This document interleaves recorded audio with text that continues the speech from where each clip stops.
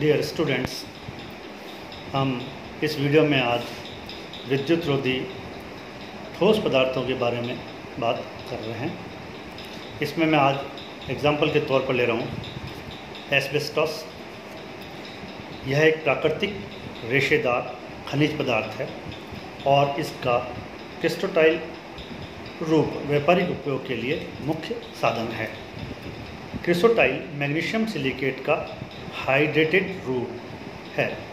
इसका अपेक्षित घनत्व 2.2 से 2.6 और गलन तापक्रम 1525 डिग्री सेल्सियस, यानी 1525 डिग्री सेल्सियस मेल्टिंग पॉइंट है। यह बहुत उच्च आर्द्रता ग्रही और कमरे के तापमान पर भी इसमें लगभग 14 प्रतिशत, यानी 14 प्रतिशत नमी होती है। अतः इसका प्रयोग इसे संसेचित करने के पश्चात ही वांछनीय है। शुष्क एस्पेस्टस का विद्युत रोधी प्रतिरोध लगभग 10 की घात 8 से 10 की घात 10 ओम मीटर है और परावैद्युत सामर्थ्य लगभग 40 किलोवोल्ट पर सेंटीमीटर होता है। संसेचित एस्पेस्टस के लिए यह मान तीन से चार गुना बढ़ जाता है, परंतु 100 डिग्री सेल्सियस तापक्रम के बाद इसके परावैद्युत सामर्थ्य में कमी आती है। एस्पेस्टस को वैद्युत उपयोग में कागज़, फीता, कपड़ा, बोर्ड तथा एस्पेस्टस सीमेंट के रूप में प्रयोग किया जाता है।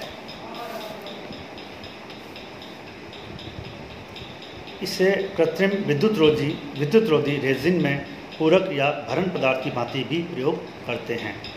एस्पेस्टस सीमेंट उत्पाद यांत्रिक रूप से कठोर एवं मज़बूत ताप प्रतिरोधी छड़ों ट्यूब, सिलेंडर तथा प्लेटों की संरचना के लिए प्रयोग किया जाता है।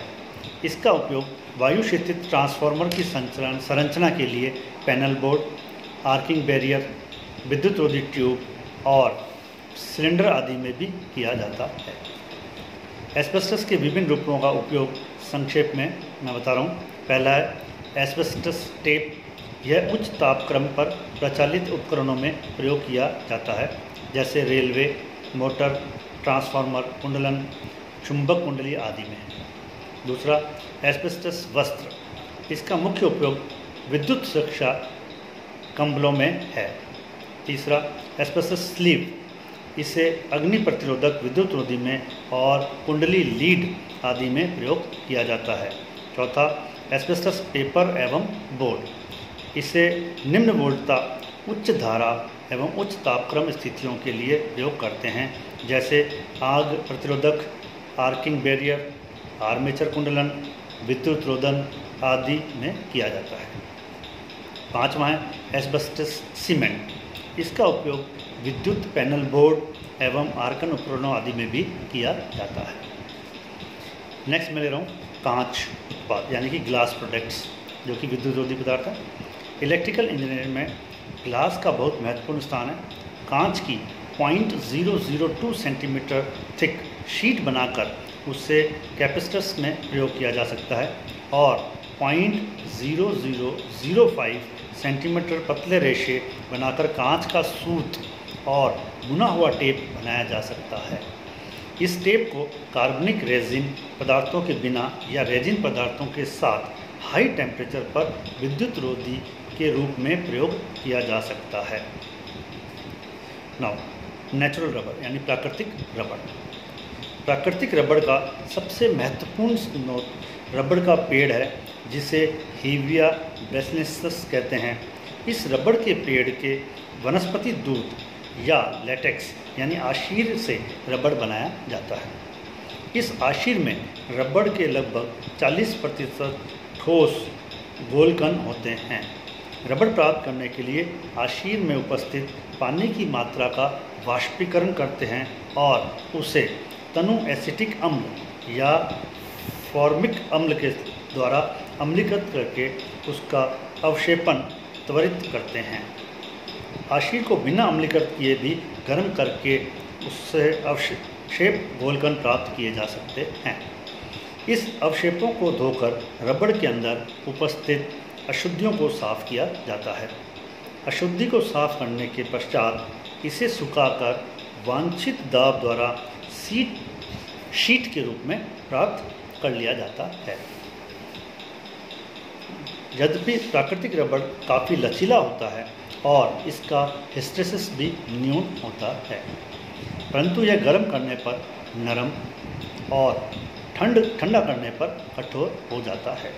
यह लगभग 30 डिग्री सेल्सियस पर ही चिपचिपा और लगभग 5 डिग्री सेल्सियस पर कठोर हो जाता है। यह नरम होते हुए भी ऑक्सीकरण के पश्चात भंगुर होने लगता है और इसका प्रकाश एवं अल्ट्रा वायलेट विकिरण से भी जरन होता है। अतः प्राकृतिक रबड़ के गुणों में सुधार के लिए इसका वल्कनीकरण किया जाता है। वल्कनाइजेशन, यानी वल्कन, वल्कनीकरण। वल्कनीकरण प्रक्रिया में प्राकृतिक रबड़ को बंधक के साथ संयुक्त करते हैं। इसमें कच्चे प्राकृतिक रबड़ को, का, को एक से पाँच प्रतिशत गंधक के साथ भाप तापक्रम लगभग 120 से 160 डिग्री सेल्सियस तक 5 से 50 मिनट तक गर्म करते हैं। या ठंडे रबड़ की शीट की अवस्था में ही सल्फ़र क्लोराइड घोल के साथ प्रतिक्रिया कराते हैं। इस प्रकार से प्राप्त वननीकृत रबड़ के जो गुण हैं, वो और दोष निम्न हैं। पहला हम गुण ले रहे हैं, मेरिट्स। पहला रबड़ अपेक्षाकृत शक्तिशाली, कठोर और सुदृढ़ होता है। दूसरा पॉइंट इस पर ऑक्सीकरण प्रभाव कम पड़ता है और अन्य वायुमंडलीय प्रभावों से कम प्रभावित होता है। तीसरा ये रासायनिक घोलों में भी नहीं घुलता अब इसके डिमेरिट्स यानी दोष, यह सूर्य के प्रकाश एवं अल्ट्रावायलेट विकिरण से प्रभावित होता है। दूसरा पॉइंट यह लगभग 60 डिग्री तापक्रम पर भंगुर हो जाता है और इसमें दरारें विकसित होने लगती हैं। तीसरा पॉइंट इसमें उपस्थित गंधक तांबे के साथ प्रतिक्रिया करती है और जिससे केवल, केबल में प्रयुक्त ताम्र तारों को टिन किया जाता है। नेक्स्ट पॉइंट इसकी विद्युत एवं ताप चालकता घटती है। नेक्स्ट पॉइंट यह पेट्रोलियम तेलों से कच्चे रबड़ की भांति प्रभावित होता है। अब हम बात करें आर्टिफिशियल या सिंथेटिक रबड़, यानी कृत्रिम या संश्लेषित रबड़। अधिकांश संश्लेषी रबड़ का आधार पेट्रोलियम और कोयला उत्पाद है। यह प्राकृतिक रबड़ के ही समरूप है और इसे ताप, सुगटे विनिल उच्च भोलकों से प्राप्त करते हैं। इसके मुख्य गुण तेल प्रतिरोधी, जलन प्रतिरोधी और निम्न ताप, नग नग, नम्यता आदि प्राकृतिक रबड़ की अपेक्षा अच्छे होते हैं। Polyvinyl chloride. यानी पीवीसी को एसिटिलिन और हाइड्रोजन क्लोराइड की 50 से 55 डिग्री सेल्सियस पर उत्प्रेरक कैटलिस्ट यानी कि H2O2 की उपस्थिति में प्रतिक्रिया कराकर प्राप्त किया जाता है। इसके अतिरिक्त गैसीय विनाइल क्लोराइड का बहुलीकरण करके भी पीवीसी प्राप्त किए जा सकते हैं। पीवीसी के गुणों में सुधार के लिए उसमें भरण यानी फिलिंग पदार्थ जैसे लकड़ी का बुरादा कपड़ा, एस्बेस्टस, रेशा कांच, चूर्ण आदि मिलाते हैं, जो कि इसमें सिकुड़न व दरारें बनने से रोकते हैं। सेकंड सुगटकारी, जैसे टाइक्रिसाइल फॉस्फेट डाईबुटाइल नफ्थलेट आदि मिलाते हैं, जो कि पीवीसी को नम्य और घड़ाई योग्य बनाते हैं और उसके भौतिक गुणों पर नियंत्रण रखते हैं। तीसरा पॉइंट है स्थायित्व, यानी जैसे साबुन lead stearate calcium oxide calcium carbonate आदि मिलाते हैं, जो कि गर्मी के कारण पीवीसी में हाइड्रोजन क्लोराइड के निकलने को रोकते हैं। चौथा पॉइंट है, यौगिक के रूप में पीवीसी में वंचित रंग मिलाते हैं, जिससे तार और केबल लीडों की पहचानने में सहायता मिलती है। पीवीसी एक अच्छा वैद्युत रोधी पदार्थ है। परावैद्युत सामर्थ्य इसका लगभग 300 किलो वोल्ट पर सेंटीमीटर है। परावैद्युत स्थिरांक इसका 3.3 से 3.6 तथा 10 या छः हर्ट्स आवर्ती है इसका। परावैद्युत स्थिरांक स्थिर न रहकर आवर्ती के साथ बदलता है। इसका शक्ति गुणांक पॉइंट ज़ीरो वन फाइव से पॉइंट ज़ीरो टू तक वन ज़ीरो सिक्स हर्ट्स आवर्त तक है, जो कि अपेक्षाकृत उच्च है। इसका अपेक्षित घनत्व 1.2 से 1.6 अधिकतम कार्यकारी तापक्रम इसका 90 डिग्री सेल्सियस है। नरम होने पर तापक्रम 120 डिग्री सेल्सियस तक हो सकता है। इसका आयतन प्रतिरोध 10 की घात 12 ओम मीटर है। यह संक्षारण, आर्द्रता शोषण एवं अपघर्षण का अच्छा प्रतिरोधी है। यह ज्वलनशील नहीं है। इस पर रासायनिक प्रतिक्रिया का प्रभाव नगण्य होता है। ओजोन और अल्ट्रावायलेट किरणों का प्रतिरोधी है। यह नम्य और हल्का है। पीवीसी का उपयोग मुख्यतः निम्न वोल्टा तार और केबल के विद्युत रोधी के लिए करते हैं, तथा इसके नम्य गुणों के कारण तारों के आवरण, विद्युत रोधी स्लीविंग और केबल शिथिल, शीतलिंग के लिए इसे प्रयोग करते हैं। पीवीसी के जो है, कंड्यूट के रूप में भी हम पाइपों के रूप में काम में लेते हैं। पीवीसी फ़िल्म पीवीसी टेप शुष्क बैटरियों में विद्युत वृद्धि के लिए भी सामान्यतः इनका प्रयोग किया जाता है। नेक्स्ट मेटेरियल हम ले रहे हैं बैकेलाइट बैकेलाइट के गुणधर्म जो है प्रॉपर्टीज़ वो इस प्रकार है। इसका आयतन प्रतिरोध 10 की घात 6 ओम सेंटीमीटर होता है। इसका डायलेक्ट्रिक कांस्टेंट 2.3 से 5.9 तक होता है। आपेक्षित घनत्व इसका 0.92 से 1.75 होता है। डायलेक्ट्रिक स्ट्रेंथ इसकी 150 किलो वोल्ट पर सेंटीमीटर से 415 किलो वोल्ट पर सेंटीमीटर तक होती है। इसमें जल या नमी प्रतिरोधी गुण होता है। अब इसके प्रयोग हम कहाँ करते हैं? बैकेलाइट के। मेजरिंग इंस्ट्रूमेंट के पैनल तथा शीट बनाने में, लो वोल्टेज स्विच बनाने में, नमी प्रतिरोधक परतों हो तो यंत्रों के टर्मिनल या घुंडी बनाने में यांत्रिक उपयोग हेतु तो किया जाता है। नेक्स्ट हम जो है वो ले रहे हैं हमारे लिक्विड इंसुलेटिंग मटेरियल्स और उनके गुण, यानी तरल विद्युत रोधी पदार्थ एवं उनके गुणधर्म जिसमें सबसे पहले हम ले रहे हैं ट्रांसफार्मर ऑयल ट्रांसफार्मर ऑयल को यूज़ करने के दो उद्देश्य होते हैं। यह ट्रांसफार्मर की वाइंडिंग एवं कोर्स से ट्रांसफार्मर का बाह्य शीतलन सतह तक ताप संचालित करने के लिए माध्यम का कार्य करता है। दूसरा, यह ट्रांसफार्मर की वाइंडिंग का इंसुलेशन बनाए रखने में भी हेल्प करता है। यानी कि कूलिंग में और इंसुलेशन में। दो जगह इनका काम होता है ट्रांसफार्मर का। अब इसकी करेक्टरिस्टिक्स क्या है ट्रांसफार्मर की?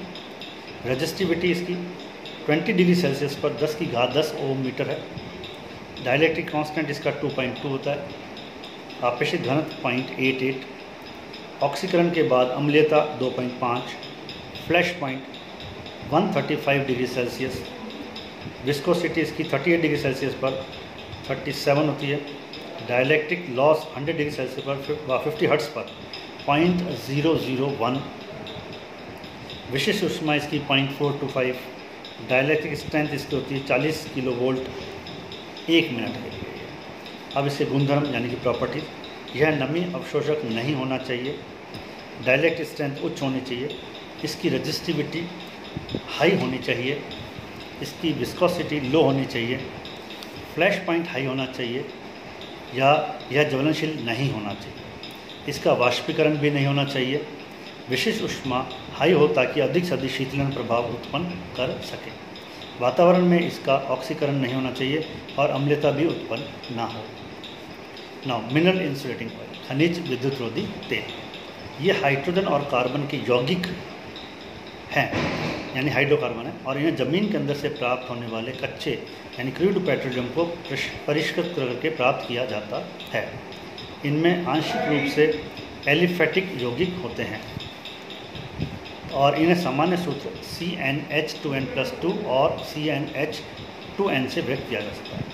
बहुत से खनिज तेलों में काफ़ी अंश एरोमेटिक यौगिकों का भी होता है, और एरोमेटिक तत्व तेलों तथा एलिफेटिक अवयवों का अनुपात तेल प्राप्ति साधन पर और उसे परिष्कृत करने की प्रक्रिया पर निर्भर करता है। विभिन्न ब्रांड के खनिज तेलों की उपलब्धि के कारण यह जानना अनिवार्य हो जाता है कि एक विशेष ब्रांड के तेल की भौतिक, तापीय, रासायनिक एवं विद्युत अभिलक्षण क्या है और इसे किस प्रकार के उपकरण में प्रयोग करना उपयुक्त होगा और किन परिस्थितियों में उपयुक्त होगा। किसी उपकरण की अभिकल्प स्थिति में यह जानना वांछनीय है कि उस तेल के तापीय और भाव यानी फ्लो अभिलक्षण क्या है, जबकि तेल की आयु की जानकारी उसके रासायनिक गुणों से प्राप्त होती है। तेल के वैद्युत गुण, तेल की आयु की जानकारी उसके रासायनिक गुणों से प्राप्त होती है। तेल के वैद्युत गुण, तेल के प्रयोग का औचित्य एवं उपयोगिता दर्शाते हैं। कुछ उपकरण जैसे ट्रांसफार्मर, तेल पूरित बुशिंग परिपथ, वियोजक और तेल निमिजित केबलों में तेल का बदला जा, को बदला जा सकता है। परंतु संघारित्रों संसेचित केबलों और सील्ड इलेक्ट्रॉनिक उपकरणों में तेल को बदलना प्राय संभव नहीं होता। तेल की निम्न परावैद्युत सामर्थ्य तेल में दूषित होने और तेल में पानी की उपस्थिति को इंगित करती है। उच्च उदासीनीकरण संख्या तेल की अम्लता को प्रदर्शित करती है यह अम्लता तेल के प्रयोग के समय में ऑक्सीकरण द्वारा उत्पन्न हो जाती है। तेल के में बंधक की उपस्थिति कारण तेल में निमज्जित लोह भागों लोह भागों को संक्षरित कर सकती है। तेल में उपस्थित गैस और पानी की मात्रा उपकरण को, के प्रचालन को प्रभावित करती है। ना अब हमारे जो है लास्ट हम ले रहे हैं इसमें गैसियस इंसुलेटिंग मटेरियल और उनकी प्रॉपर्टी गैस से विद्युत रोधी पदार्थ एवं उनके गुणधर्म। हाइड्रोजन पहले ले रहे जिससे गुणधर्म इस प्रकार है। इसका घनत्व वायु की अपेक्षा बहुत कम, यानी एक बटा चौदह होता है। इसकी विशिष्ट उष्मा तीन पॉइंट चार कैलोरी पर ग्राम डिग्री सेल्सियस, जो कि वायु की लगभग चौदह गुना होती है। इसकी चालकता वायु की सात गुना होती है। Dielectric strength 18 kilo volt per centimetre होती है। डायलेटिक कांस्टेंट 1.000254 होती है। डायलेटिक्स कांस्टेंट इसका जो है, वो 1.000254 होता है और अपेक्षित घनत्व इसका point zero zero zero zero eight nine eight eight होता है। इसके प्रयोग जो है हम कैसे करते हैं? हाइड्रोजन का प्रयोग इंसुलेटिंग माध्यम के रूप में नग्न है, परंतु शीतलन की भांति काफ़ी उपयुक्त है। इसके बाद हम ले रहे हैं एयर वायु ईश्वर का एक अनुपम उपहार है। ना चाहते हुए भी इसका उपयोग विभिन्न विद्युत मशीनों विद्युत उपकरणों एवं उप संयंत्रों और विद्युत संचरण लाइनों आदि में विद्युत रोधी माध्यम के रूप में करते हैं। इसका विद्युत रोधी प्रतिरोध बहुत ही उच्च होता है, परंतु नम वातावरण में काफ़ी कम हो जाता है। नमी के कारण इसकी परावैद्युत सामर्थ्य भी घटती है। इसमें परावैद्युत हानियाँ भी नगण्य होती है, परंतु उच्च वोल्टता पर वायु में संचारण लाइनों के बीच करोना प्रभाव उत्पन्न करता है, जिसके कारण करोना हानियाँ होती हैं। वायु का उपयोग घूर्णन मशीनों में शीतलन, वायु परिपथ, वियोजकों में आर्क शमन और शीतलन शीतलन, परिणामित्रों में शीतलन तथा वायु दायित्रों में परावैद्युत माध्यम प्रदान करने के लिए किया जाता है। नेक्स्ट हमारा sulphur hexa fluoride S F six इसके गुणधर्म यानी प्रॉपर्टीज़ इस प्रकार है डायलेक्ट्रिक कांस्टेंट इसका होता है one point zero zero two zero eight four dielectric strength होती है इसकी seventy three kilo volt per centimetre से eighty kilo volt per centimetre अपेक्षित घनत्व होता है point zero zero six one four specific heat point one four two यह वायु की अपेक्षा लगभग पाँच गुना भारी होता है। और इसके प्रयोग जो है वो इस प्रकार है। सर्किट ब्रेकर्स पे प्रयोग किया जाता है इसका। इसके अलावा एस एफ़ सिक्स का प्रयोग विद्युत रोधी माध्यम के रूप में, केबलों में ट्रांसफार्मर में एक्स रेज में माइक्रोवेव उपकरणों में, विद्युत मापन उपयंत्रों में और गैस लेज़र आदि में किया जाता है। Thank you